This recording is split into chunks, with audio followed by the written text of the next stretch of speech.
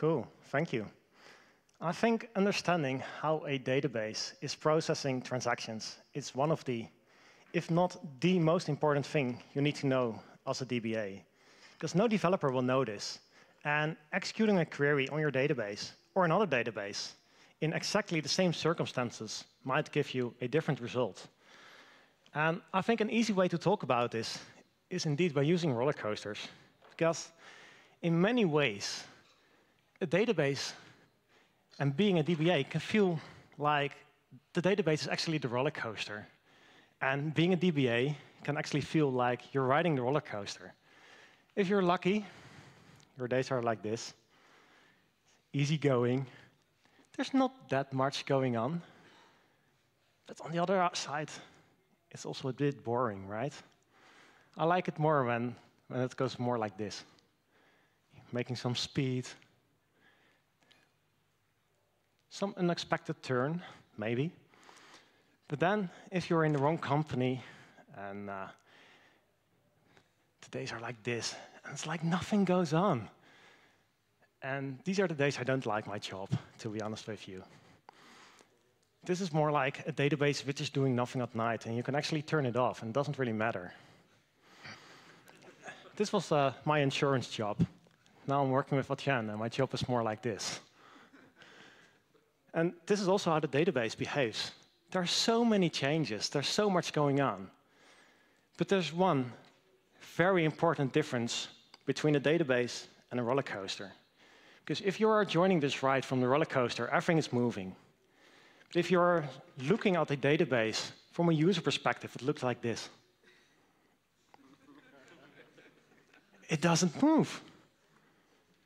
There's a lot of stuff going on in your database, but as long as you, as long as you keep watching, nothing happens. But then you blink your eyes. Like, what? What happened? This is not one step further. This is like a million steps in time. And then you blink your eyes again. And then you have a different perspective. It's the same roller coaster, but a different moment in time. But as a user, if you are querying a Postgres database, from your perspective, nothing is changed. Nothing is changing in time as long as you keep watching. And today is about how does the database actually do this? How does it provide these three different perspectives of the data at the same moment in time? Cool. So that's what we were talking about. This is me. My name is Derk van Veen. I'm working as a database engineer at Adyen. I never know, different titles, same job.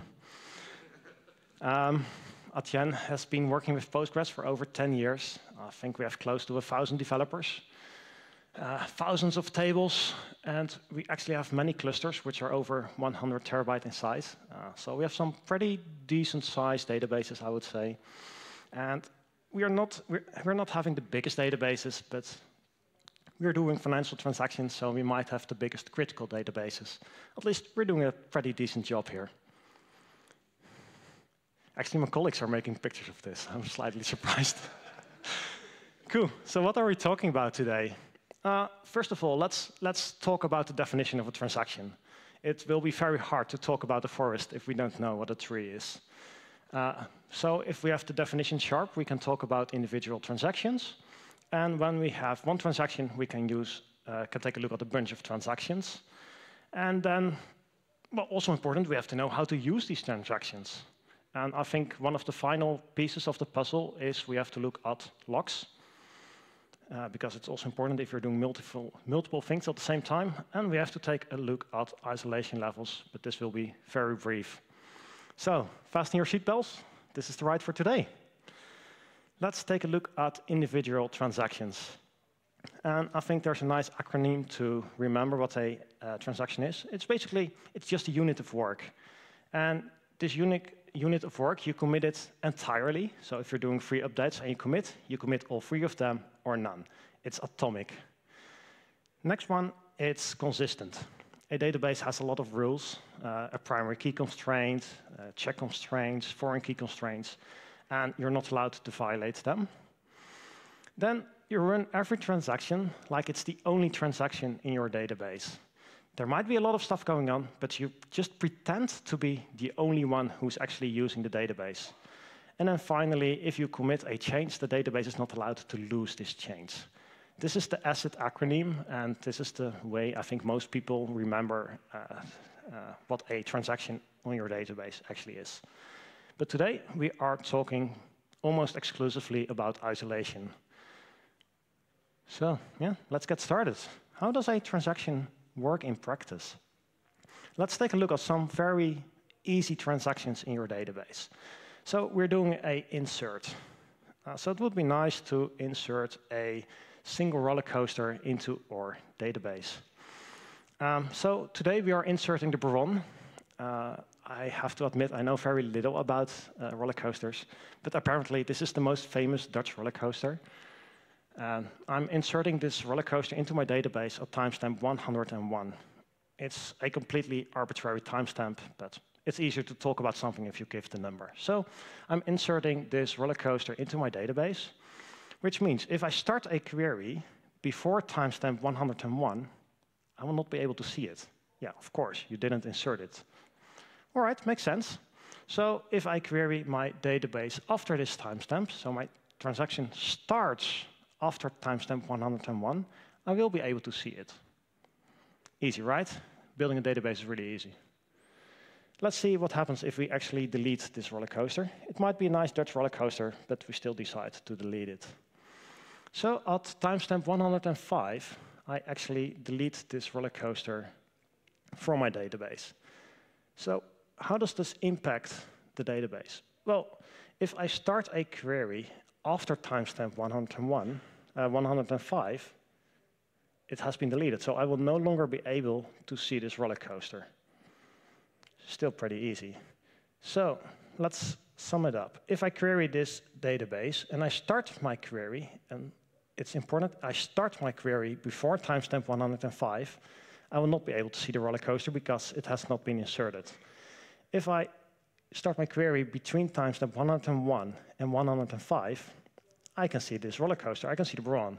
But if my query starts after timestamp 105, I will no longer be able to see it because it has been deleted.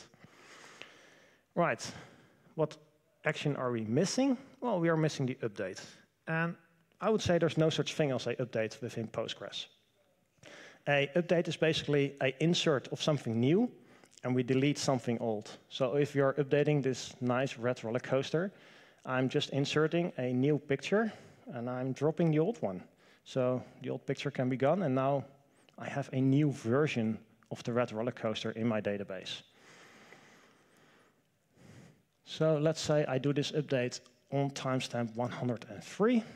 If I start a query before timestamp 103, I will be seeing this red roller coaster in the station. But if I start my SQL statement after timestamp 103, I see this climbing red roller coaster. So that's how we do updates.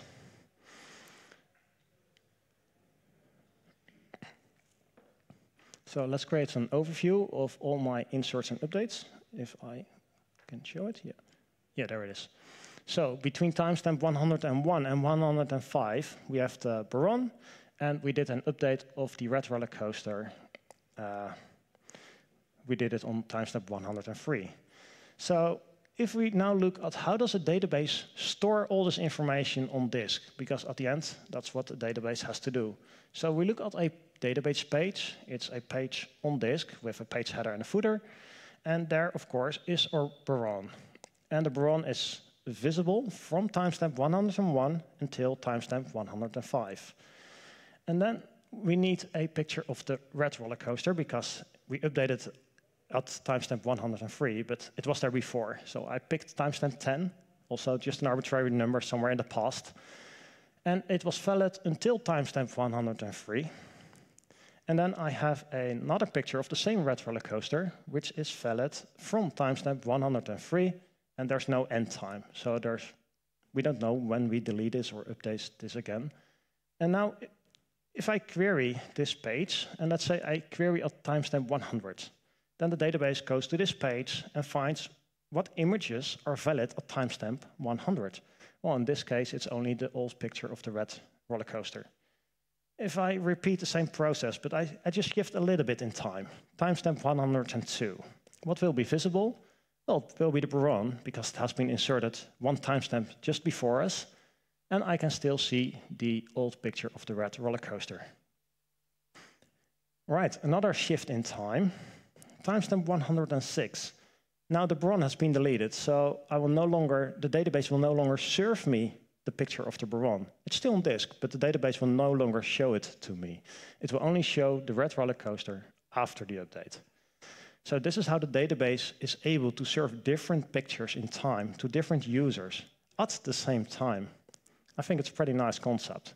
This is how a roller coaster doesn't seem to move as long as you keep watching. So now let's see how all these different transactions move together in space.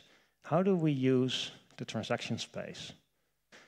Transaction space is basically, it's a collection of transaction snapshots. And a transaction snapshot is a bit of a, a complicated way of putting like what is actually happening at this moment in time. So what do we need for a transaction snapshot? Well, we need to know what is the oldest transaction in time which has not yet been committed, because everything which has been committed will be visible for me. It's like the baron has been inserted in the past, so now I can see it. And then at the other end of the spectrum, we need to know uh, what is the first number which is still mine to give out. What timestamp is in the future, right? Because if something is in the future, I can't see it. Makes sense. Well, what's in between this oldest not committed and first not handed out timestamp? There's a list of things which might be active. Um, I will zoom into that in a bit. But because I think for a lot of people, this is a new concept. We go over slowly. So if you ask your database, give me my snapshot, your snapshot looks like this. Come on, move. Thank you. All right, first number, the oldest not committed transaction. This is the first one which is not visible for me as a user. Next number.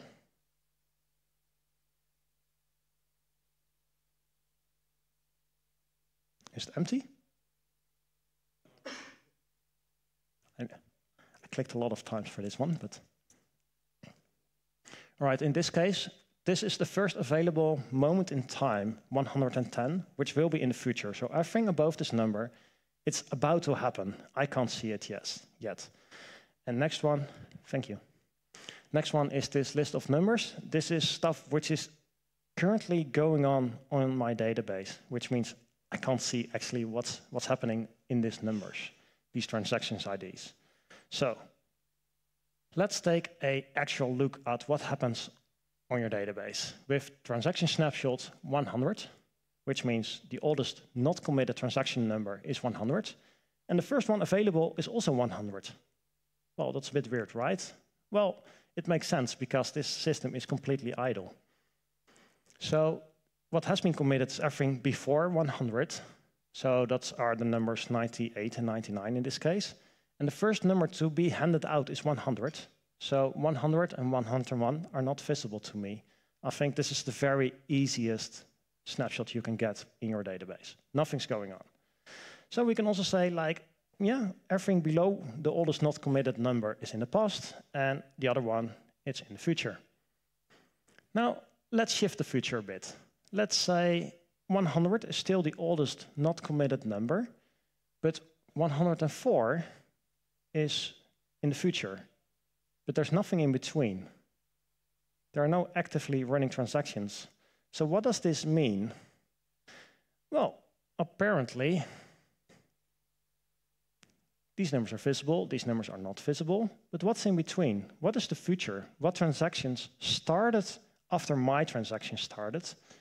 And can I actually see it? Well, they are not active right? Just these numbers, 101 till 103, they have been committed. So apparently, I've been doing a transaction. I did a read operation, for example, for some time.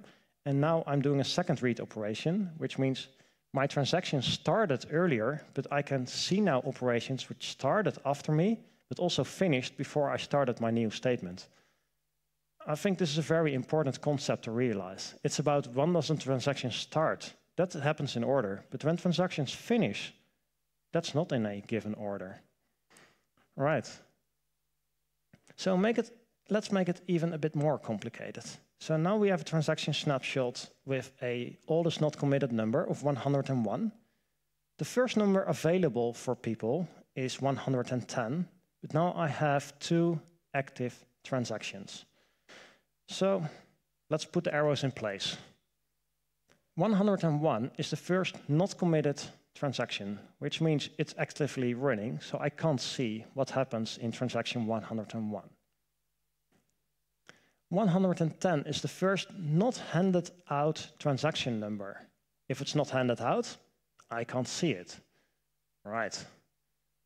So I know now everything before 101 is visible and everything from 110 and above is invisible for me. Right. Now let's say I have transaction number 106. I'm doing some updates. Now let's see what happens with all the other numbers. Let's take a look at number 102. Transaction number 102 is not running, so it has been committed, so I can see it. Transaction 103 has been aborted. I didn't tell you about aborted transactions, but uh, we did a rollback on this transaction. That's why I created this red number in it. And I will not be able to see the result of a rolled back transaction. Then 104. 104 is in my list of active transactions.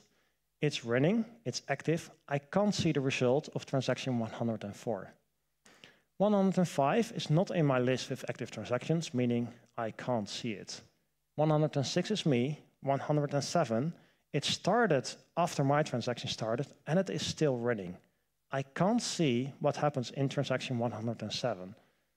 But 108 and 109, these transactions are already finished. So I can actually see what the result of transactions which started with a higher transaction number.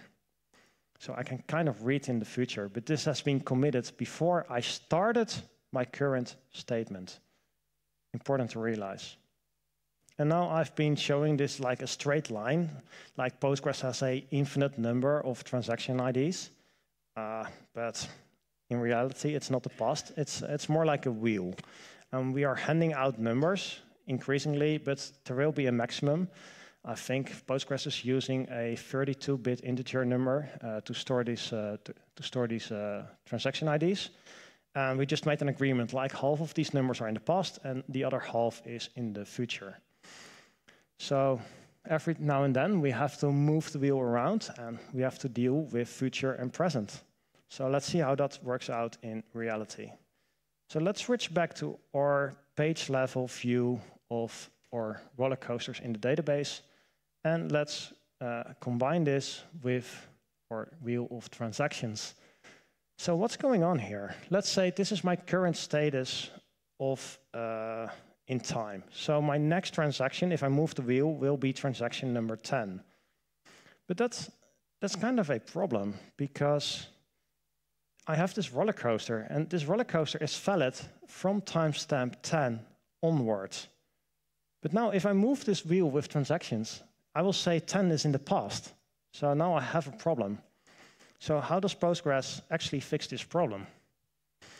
Well, I think everybody who has been working with Postgres knows, like if a if nobody's looking so long that you actually need this number, nobody will be able to see this red roller coaster anymore.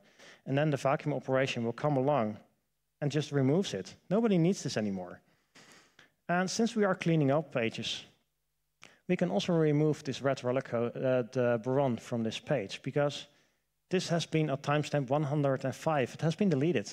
Nobody needs this view of the reality anymore, so we can remove this one as well. And now we, we cleaned up this page, and if we move from uh, to transaction 10, if it moves to the past, there's no problem anymore. There's no data related to it. So now we can finally move.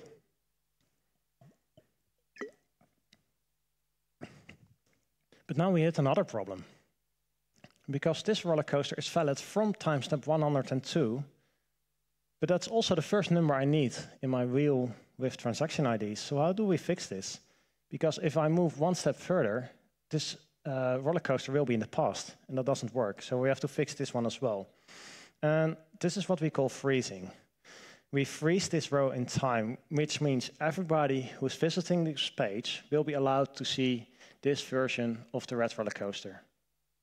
And since this is the only image we have left on this page within our database, we can actually freeze this page entirely, which also means the next time the vacuum operation comes along, this page is frozen, so the vacuum operation can skip this page. And this way, the vacuum can skip a lot of work. So it's an important concept, freezing.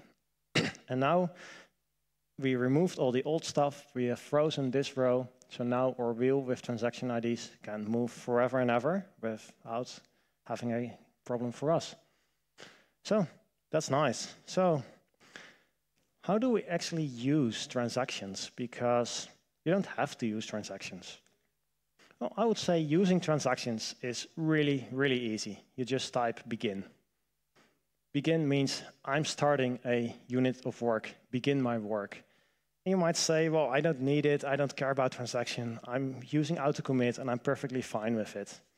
I would say it's a valid argument in some cases, but I also just created some tests uh, to create, uh, to convince some developers to actually use transactions and why it matters.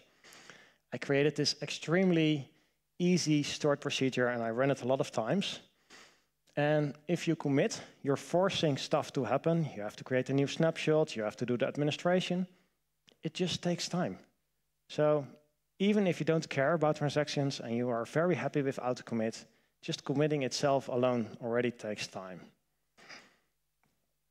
All right, so I can begin a transactions. I can do multiple updates without my, within my transaction. And at the end of this transaction, I decide to commit. And then I commit all the result of all three of these updates. It doesn't take additional time. All the writing is already done by the database. It's already written to the WAL files. The moment you say commit, the only thing what happens is you're writing to the WAL files. This transaction has actually been committed. So no matter how long your transaction is, committing is always fast. And if you don't want to commit, then you roll back. And then you roll back the result of all three of these updates. So just going back to the transaction space and how multiple transactions work together, I have I start a transaction, so I will have a low transaction number. I do a select, which takes some time, and then during this select, another transaction does an update.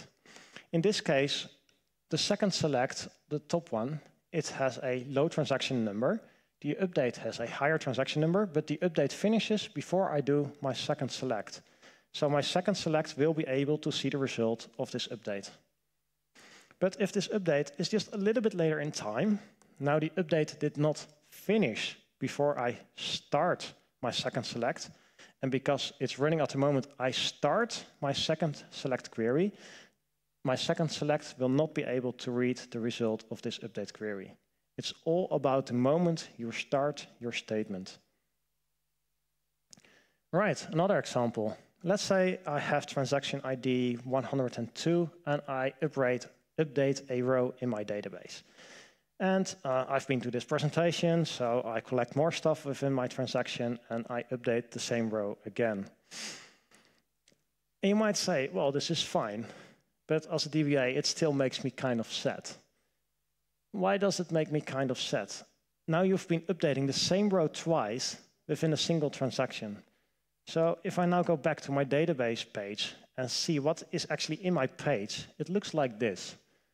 I have my red roller coaster, which was valid from timestamp 10 to 102, which is when I did the update with the latest transaction. Then I have a statement, a picture of this roller coaster, which is valid from timestamp 102 until timestamp 102. And I have one which is valid from 102 until forever. But now you're actually wasting space within the database because nobody will be able to read this, this picture of the red roller coaster which is diving down. It's only visible for you. So yes, use transactions, but please also use them wisely. Don't commit more than you need because this is just filling up space in my database, and that doesn't really make me happy. All right, another important concept we have to talk about today is locking, because if there's a lot of stuff going on in your database and a lot of users are trying to do stuff with your database, you have to protect them as well from each other. And locking is a very important mechanism for this. Because let's say transaction 100 is uh, doing something with this red roller coaster. Maybe it's updating it, and then another transaction is coming in and wants to do the same update. And we can't update the same row with two different outcomes. It has to be either one or the other. But we can't have two transactions updating the same stuff at the same moment in time. So that's why we need locking as well. So how does locking work? Well, as soon as you read something, you already need to lock it. And why do you need to lock it? Because readers don't block readers, right?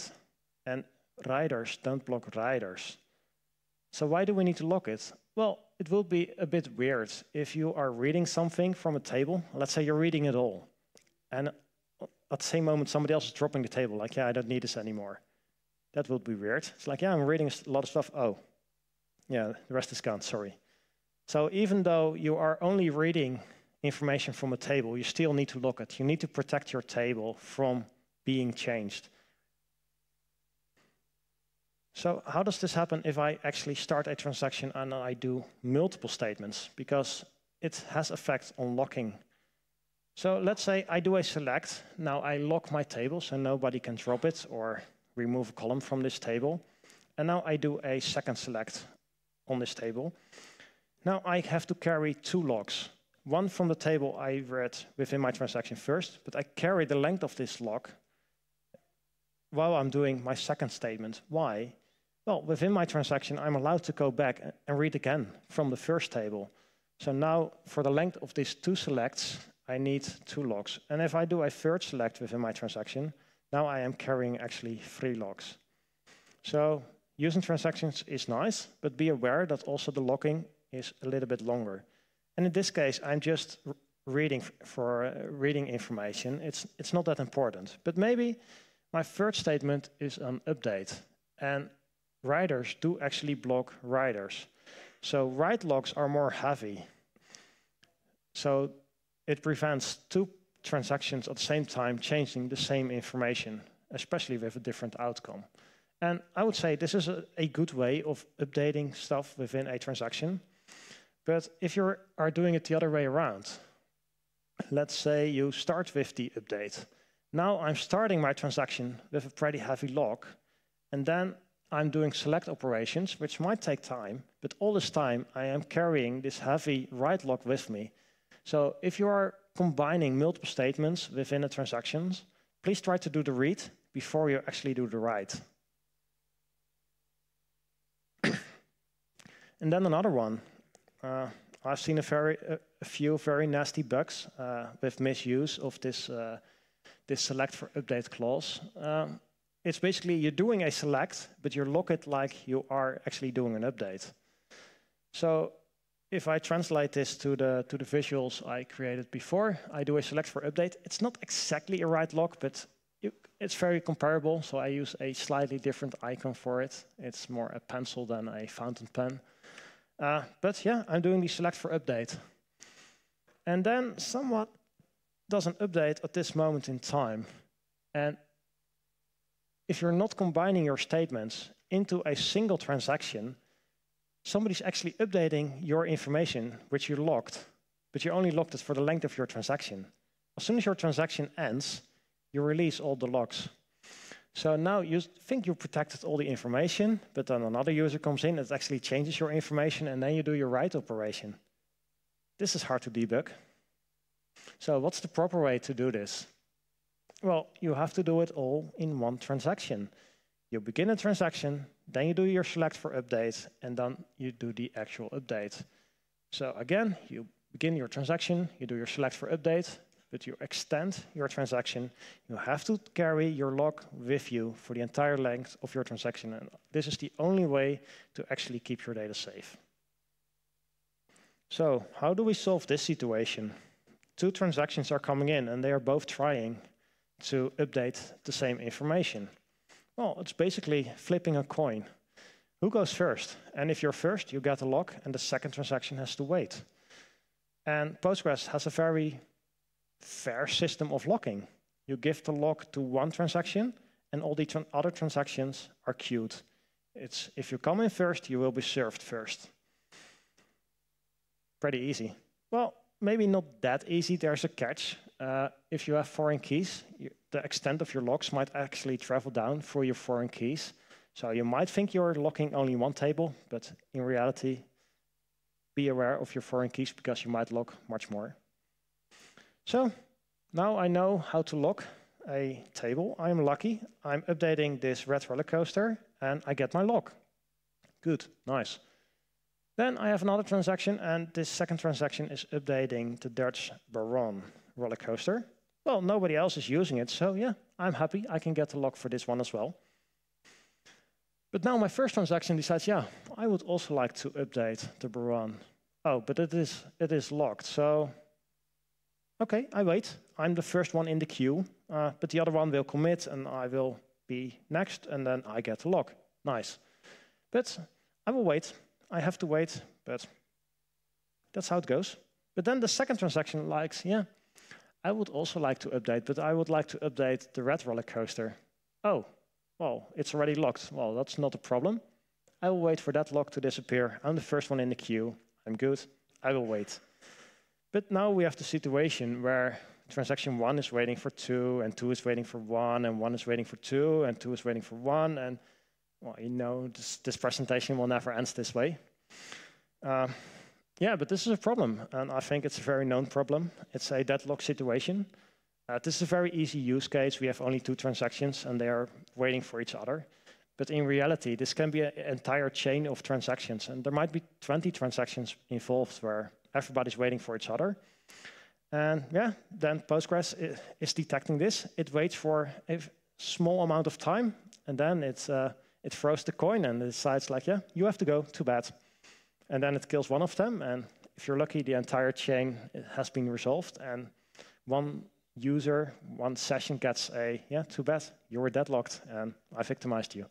Sorry. But that's how it goes. So locking, very important mechanism. Uh, it's easy to say locking is annoying, it's troublesome, and yes, it's not easy.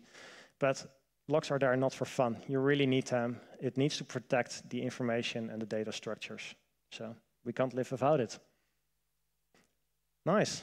Isolation levels. Uh, last topic, and I want to briefly touch on it.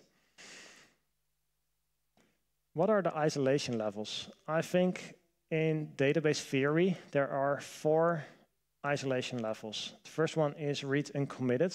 Uh, in some databases like DB2, you can information before it has actually been committed. Uh, in Postgres, there's no such thing. The default one is the read committed uh, isolation level in Postgres. And that's how I've been treating transactions uh, for this entire talk already. Everything which has been committed will be visible for you. So this is our read committed isolation level. I have a long-running transaction with multiple statements, but every statement has its own transaction snapshot. Every time I start a snapshot, I look again, what has been committed, what is the first number available and what is still active? If I compare this with the repeatable read, which is the next step on the ladder of isolation levels, I still have the same transaction, but now I only determine my transaction snapshot for the first statement. So how does this impact something? Well, I don't get a new snapshot for my second uh, select and also not for my third select.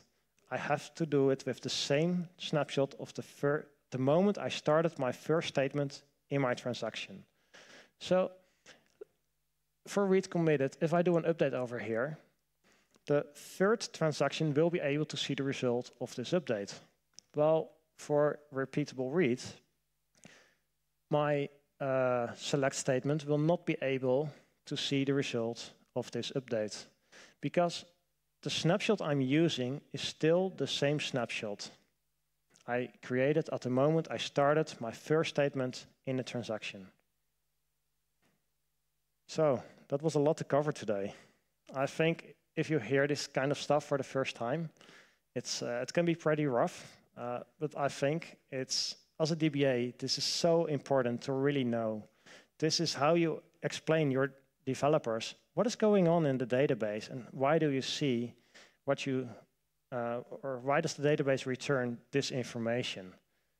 So, what are the most important learnings from today? If I have a lot of transactions going on at the same moment in time, how does this all work together? How does a database determine this picture? What do I have to show to this specific user? Because there's so much going on, but it is not moving in time as long as you keep watching. So these mechanisms with xmin, xmax, this is how your database determines what transaction can see from what other transactions with, which are running at the same time. It's such an important topic to understand as a DBA. And then also, how do I use a transaction and how do I use it in a proper way? How do I explain my developers how a select for update works? How do I explain locking problems and how can I resolve them? These are all issues as a DBA, they are so important to really know from the inside out. Because again, it's easy to be angry about locks. Locking can be so hard. Uh, we've been doing partitioning within Adyen, and we struggled with logging of locking so much. It was such a hassle to get over it. But locks are important. They are there for a reason. And if there would be a lighter lock, then there would be a lighter lock. So be aware of them. Try to figure out, try to understand why are these locks there and what are they actually protecting. It's too easy to say, yeah, it's annoying, I want to get rid of it. And then finally, isolation levels. Isolation levels, I would say you hardly come across them, but isolation levels are extremely important to understand. There's a famous company which went broke because they didn't understand how, uh, how isolation levels actually work if you are checking the balance of an account before subtracting that amount from that account, if you do it wrong, your company might actually get broke. So yes, it is a hard concept to understand maybe, and maybe you only have to decide it once for your entire company. But if you make the wrong decision here, the impact can be huge. So that will be it for today. Are there any questions?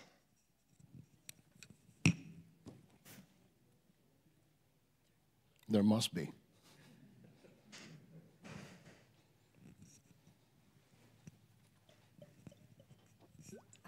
Hello. Uh, can you go back to the last linear slide before the wheel came in? 100. I, I just go back and you say stop. Yeah. Uh, uh, uh. it's um, close to beginning.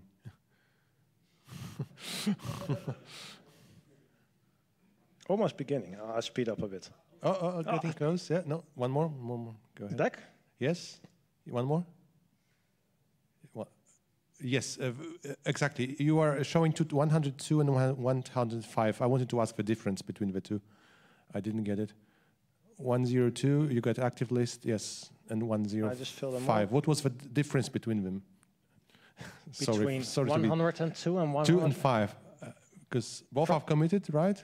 they are both committed, so I will be able to see the results from these transactions. If my transaction number is 106, then 102 and 105 have been committed, they have finished, so I can see the result of these transactions.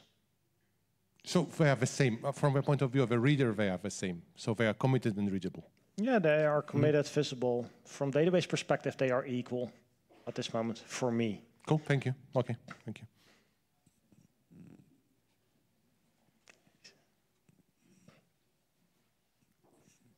First of all, uh, there was a wooden roller coaster in your first slides.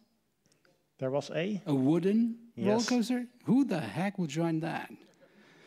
I don't know. It's, uh...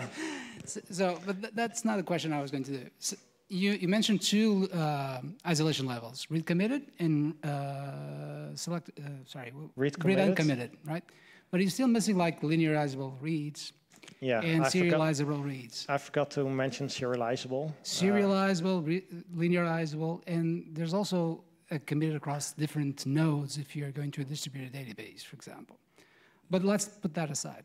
how do those affect the way you view it if you use one of those other two uh, uh, isolation levels? Because they are very important once we are in high throughput, low latency workloads. So just checking, what is the impact on the concurrency for the different snapshots? Correct. All right. Uh, I would say the more heavy your isolation level is, which read uncommitted is very lightweight and serializable is the heaviest.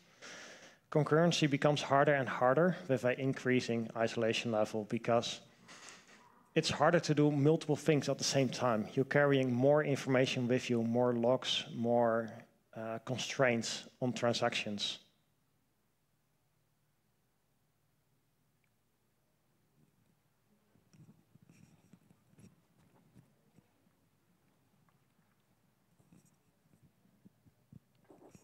My question is also on the same slide.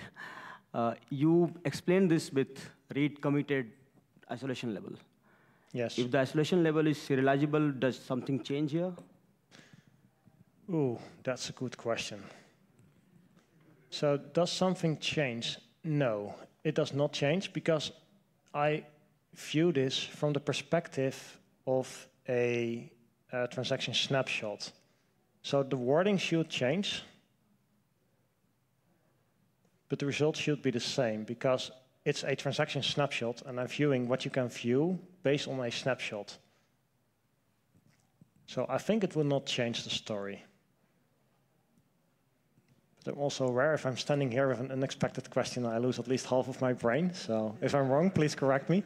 Right, so it but I think the story holds up. it wouldn't actually change the timeline if you used serializable. It's just that serializable prevents you from making a serialization error. So if you got into a dangerous, let's say, situation where you could cause a data integrity issue, like by reading after write, um, the serializable isolation level would not let you do that. It would just throw an error, and you would have to retry from the application. Yeah. What I learned about serializable, and for me that's always been an easy way to remember it, if the order of statements would change the outcome, then uh, the database will throw you an error. Yeah, actually, no people kind of asked half of the questions I meant to ask, but I still um, want to ask one more related to this. So my first question would be whether you, in your real life in Adyen, had to raise isolation level over repeatable reads because I never had in my 40 years with databases. And Thank you. Uh, and uh, what uh, actually, it's just suggestion because I really love this presentation, how it's like illustrates all these aspects. So like my suggestion, how you can like answer the potential questions like this, what helps? If you uh, like present the graphics like you start two transactions in parallel and uh, where you can really, what Jimmy just said, where you can really see the difference between isolation levels if you start to update uh, kind of the same thing, so like from the same table, and you can like you can see the difference what will happen because in one situation it will not let you even to update before transaction. In other case, you will it will allow, but when you try to commit, it will say, uh-uh, no, no way. And uh, so uh, that's like very, very good to have. But um, and I, I, think it's important to stress that extremely rarely you, you need to like. Yeah, absolutely. So I, I, I, still get, get, to, get to see it, but yeah, awesome. I love the graphics. So the question was?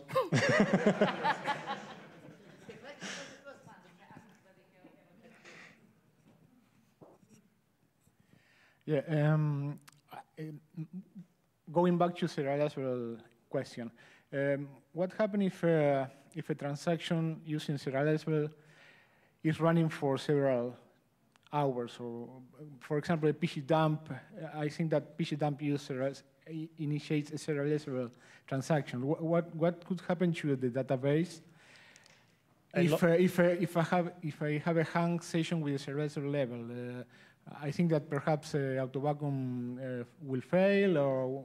Well, for every long-running transaction, you can't clean up stuff. Uh, so as long as something is running, you can't throw things away with a transaction ID lower than that number. So for very long-running reports or inserts, that's, that becomes an issue. And if the transaction levels is uh, serializable especially, uh, if the order of statements in your database would change the output, well, that might. So you might throw a lot of, uh, I don't remember the error exactly, but serializable, because of serializable issues, your transaction has been aborted, please retry again. But on the other hand, if this is a completely new table and nobody looks at this table, it should be fine.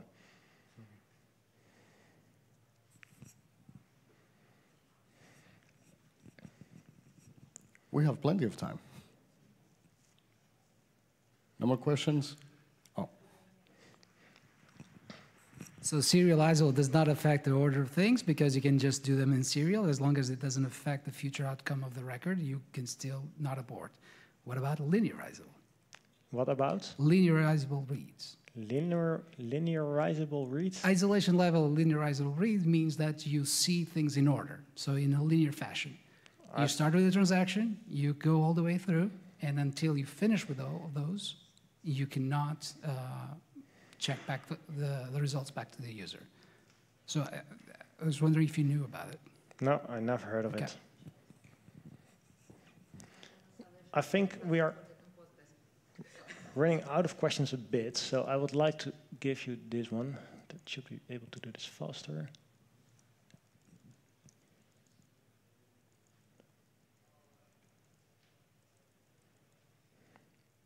I think it's a slightly simplified overview. Can I do this? Should, there's a shortcut to go to the last, last slide, but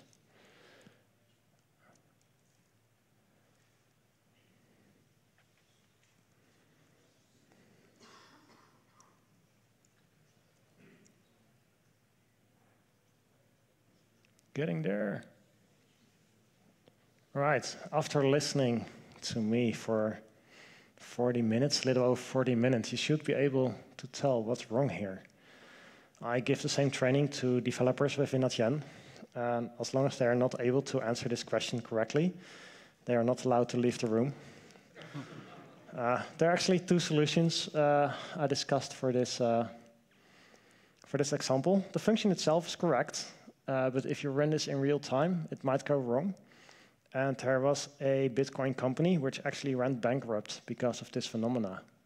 So while you are still thinking about a new question, take a picture of this one and think about the two solutions you can come up with to prevent going bankrupt.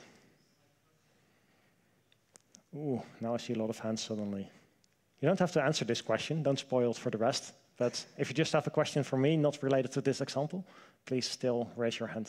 We have time for one more.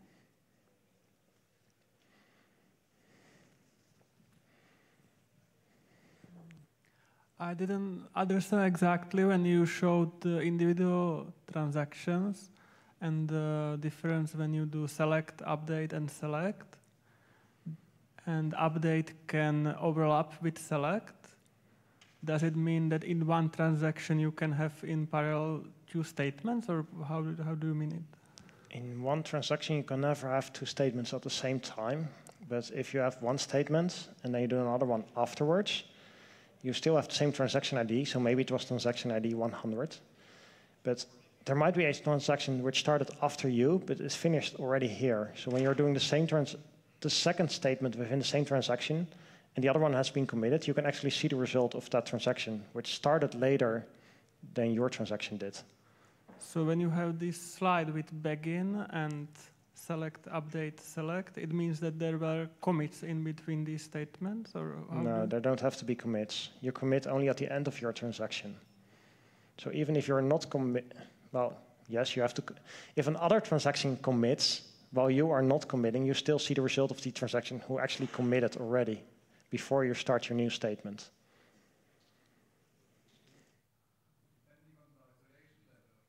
Depending on the isolation level, but in the example it was read committed. Uh, okay. It changes the story with repeatable read. Excellent. Thank you for an excellent talk. And any other questions, you can catch Derk outside. Thank you very much. Cool. Thanks a lot.